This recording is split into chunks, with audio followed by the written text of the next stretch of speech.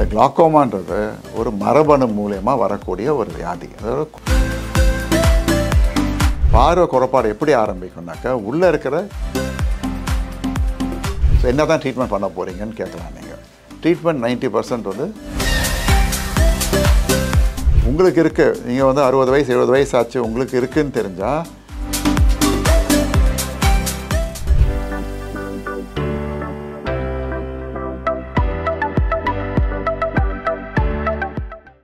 பூங்காட்டு நேயர்களுக்கு வணக்கம். நான் டாக்டர் அருள்மொழிவர்மன். அண்ணாநகரில் இருக்கிற கண் மருத்துவமனை உமா ஐ கிளினிக்கினுடைய சீஃப் மருத்துவர். இன்றைக்கி இந்த எபிசோடில் வந்து கண்ணில் இருக்கக்கூடிய கிளாக்கோமான்ற டிசீஸை பற்றி பேசுவோம். கிளாக்கோமா அல்லது கண் நீர் அழுத்த நோய் அதாவது எப்படி வந்து நம்மளுடைய ரத்த நாளங்களில் ஒரு ப்ரெஷர் இருக்கோ பிபின்னு சொல்கிறோமோ அதே மாதிரி கண்ணுக்கும் ஒரு ப்ரெஷர் இருக்குது கண் வந்து ஒரு திரவம் ஃபில் பண்ணக்கூடிய ஒரு பால் அது. அது ஃப்ளூயிட் ஃபில் ஸ்ட்ரக்சர் தான் அது. ரெண்டு டைப் ஆஃப் ஃப்ளூயிட் அந்த கண்ணில் இருக்குது முன்னால் அக்வஸ்னு ஒரு ஃப்ளூயிட் இருக்குது பின்னால் பின்பக்கத்தில் விட்ரியஸ்னு ஒரு திரவம் இருக்குது இந்த திரவம் வந்து அக்வஸ்ன்ற திரவம் வந்து it is continuously pro produce ஆகிட்டு கண்ணை விட்டுட்டு அதனுடைய அப்ராப்ரியேட் வே வழியாக வெளியே போய்கிட்டே இருக்கும். ப்ரொடியூஸ் ஆகிறதும் வெளியே போகிறதும் பேலன்ஸ் ஆகிறதுல ஒரு ப்ரெஷர் இருக்கும் கண்ணில். அந்த ப்ரெஷர் நார்மலாக இருந்தாக்கா கண் ஹெல்த்தியாக இருக்கும். சிலருக்கு வந்து அந்த ப்ரெஷர் அதிகமாகும். ஃபஸ்ட்டு கேள்வி கேட்பாங்க பிபினால் வருதா? இல்லை பிபிக்கு அது சம்மந்தம் இல்லை. சுகர்னால் வருதானோ இதெல்லாம் அதுக்கும் சம்மந்தமே இல்லை. அப்போ ஏன் வருதுன்னு கேட்பாங்க. இந்த கிளாக்கோமான்றது ஒரு மரபணு மூலயமா வரக்கூடிய ஒரு வியாதி. அதாவது குடும்பத்தில் இருக்கும். அது எல்லாமே வரலாம் பட் நைன்ட்டி பர்சன்ட் வந்து குடும்பத்தில் ஒரு ட்ரெயிட் இருக்கும். அப்பாவுக்கு இருந்திருக்கலாம் தாத்தாக்கு இருந்திருக்கலாம் ஸோ அந்த மாதிரியான ஒரு டவுட் இருந்தாக்க அதை கேர்ஃபுல்லாக நம்ம ஃபாலோ பண்ணிக்கணும்.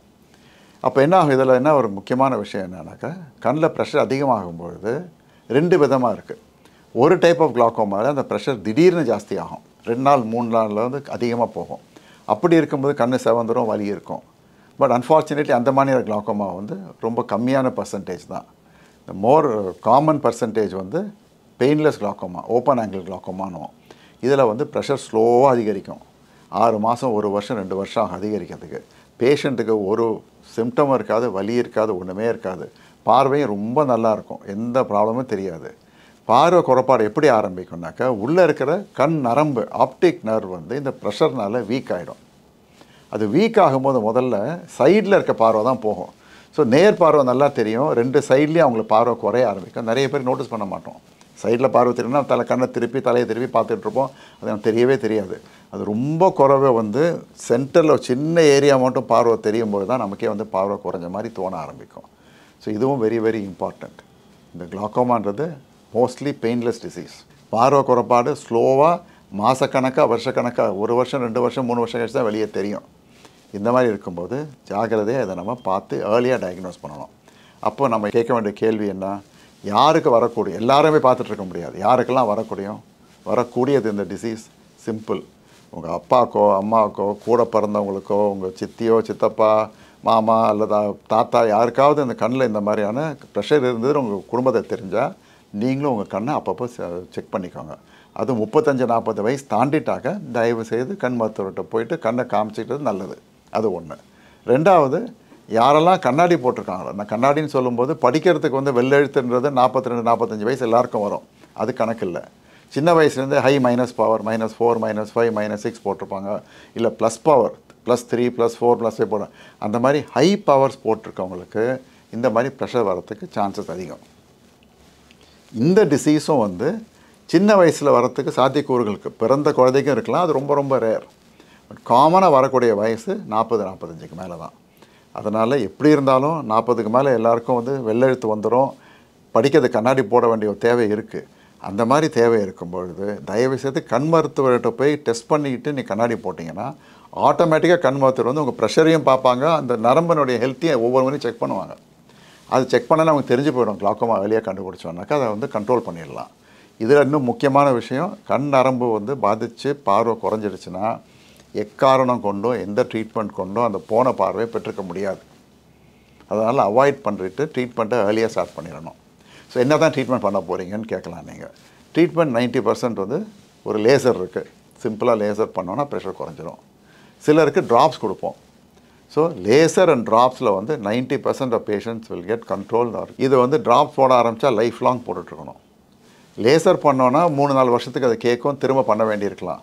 நீங்கள் ட்ராப்ஸ் போடுறீங்களோ லேசர் பண்ணுறீங்களோ ப்ரெஷர் கண்ட்ரோல் ஆனால் கூட கண் மருத்துவர்கிட்ட போய் வருஷா வருஷம் டெஸ்ட் பண்ணி அந்த ஃபாலோ அப் பண்ணுறது தான் ரொம்ப ரொம்ப ரொம்ப முக்கியம் குளாக்கோமாவில் ஸோ அதை கண்ட்ரோல் பண்ணிவிட்டு அதை காப்பாற்றிக்கலாம் இது பண்ணாம விட்டோம்னாக்கா பார்வை குறைபாடு வந்தப்புறம் அதை சரி பண்ணுறதுக்கு சாத்தியக்கூறுகளே கிடையாது. ஸோ நினைவு வச்சுக்கோங்க தயவு செய்து உங்கள் குடும்பத்தில் யாருக்காவது குளாக்கோமா அந்த கண் நீர் அழுத்த நோய் இருக்குன்னு தெரிஞ்சால் தயவு செய்து உங்களுக்கு டெஸ்ட் பண்ணிக்கோங்க.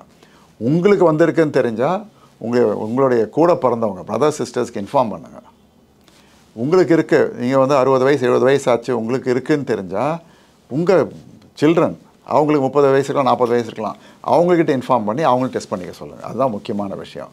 ரெண்டாவது கண்ணாடி பவர் போட்டவங்க எல்லாம் டெஸ்ட் பண்ணுறது நல்லது.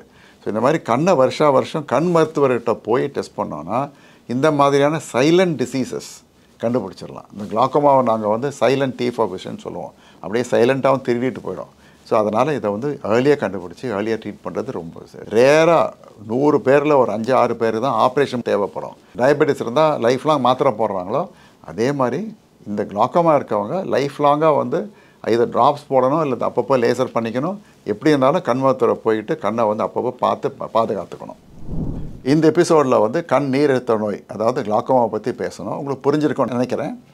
ஏதாவது டவுட் இருந்தாக்கா கமெண்ட்ஸில் அந்த டவுட்டை கேளுங்க கேள்வி கேளுங்க அதுக்கு பதில் உங்களுக்கு கொடுக்குறோம். அடுத்த எபிசோடில் வந்து வேறு ஏதாவது ஒரு டிசீஸை பற்றியும் பேசுவோம்.